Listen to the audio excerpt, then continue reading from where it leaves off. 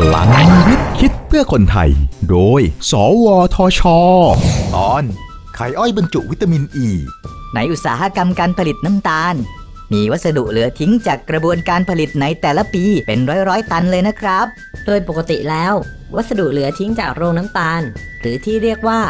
กากหม้อกรองนี้เกษตรกรสามารถนำไปทำปุ๋ยได้ครับแต่ปัจจุบันนักวิจัยไทยได้ค้นพบว่าในกากหม้อกรองยังมีของดีซ่อนอยู่ และสามารถนำไปเพิ่มมูลค่าได้อีกด้วยครับ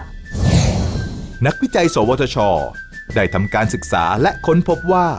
กากหม้อกรอง ซึ่งเป็นของเหลือทิ้งที่เกิดขึ้นในกระบวนการผลิตน้ำตาลนั้น มีสารที่มีคุณประโยชน์อย่างมาก จึงได้พัฒนาวิธีสกัดไข่อ้อย ที่อยู่ในกากหม้อกรองนั้นออกมา โดยไข่อ้อยที่ได้นั้นมีความนุ่ม ชุ่มชื้น คุณภาพดีกว่าไขผึ้ง หรือไขคาร์นูบาที่ใช้ในการผลิตเครื่องสำอาง จากนั้นทีมวิจัย ได้สร้างมูลค่าเพิ่มให้ไขอ้อย โดยการพัฒนาให้อยู่ในรูปของอนุภาค nanostructured lipid carrier ซึ่งเป็นไขอ้อยที่กักเก็บวิตามินอ e, ีสามารถนำไปใช้เป็นส่วนผสมในการทำเครื่องสำอาง เช่น ผลิตภัณฑ์บำรุงริมฝีปาก ผลงานวิจัยและพัฒนา โดยนาโนเทค สวทช พัฒนาคนด้วยวิทยาศาสตร์ พัฒนาชาติด้วยเทคโนโลยี สอบถามรายละเอียดเพิ่มเติมได้ที่ สวทช 02 564 8000